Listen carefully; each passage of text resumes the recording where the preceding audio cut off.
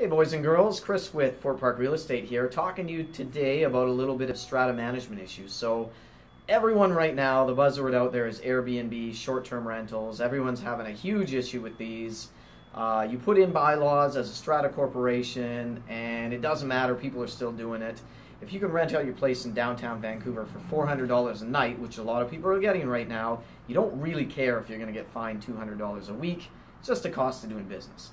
Well, I don't know if you heard, a couple weeks ago, the NDP has come out with new legislation. They've changed the Strata Property Act, effective November 30th, 2018, that you are now, as a strata corporation, going to be able to put in a bylaw.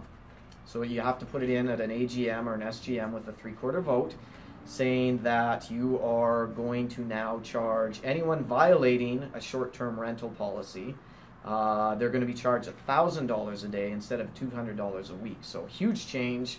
Uh, obviously, that's got a lot more teeth to it, and it's actually going to allow strata corporations to go out there and enforce these bylaws. So, look for more details to come, but right now it looks like November 30th, 2018 is the date.